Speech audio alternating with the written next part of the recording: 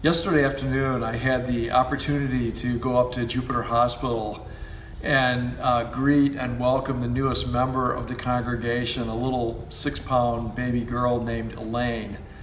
And as I prayed with her mom and dad, and I prayed with her, holding her in my arms, I, I just felt so blessed to be able to experience such joy in a world where it seems like joy is hard to find. You and I are so overwhelmed by our disagreements with one another. The divisions among us seem to grow stronger and stronger and wider and wider. You know, it's even now becoming commonplace for us to defriend friends because we don't disagree about the political world in which we're living. And I think that's too bad. I think at the end of the day, that hurts all of us because we stop seeing the world with the joy and the wonder of that new life.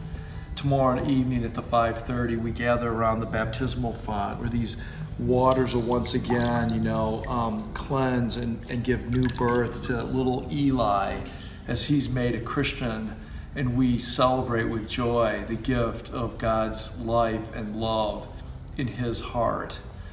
I hope that you will find balance in your life by remembering that today is the day the Lord has made. Rejoice and be glad in it. See the beauty and the wonder around you.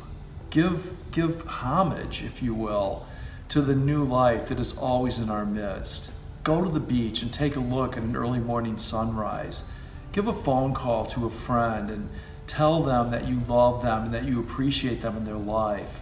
Come to church and give God your thanks for the gift that is this life and all that is good in it because that life, you know, with God's love in our hearts and around us, can overcome all division and it can bring peace and reconciliation not only amongst each other, but right here in your own heart. So may you know that kind of joy this day. May you open your eyes, your ears, your minds, your hearts to all that is good in this world. Never give up on God. Never give up on one another. And give thanks. We'll see you Sunday.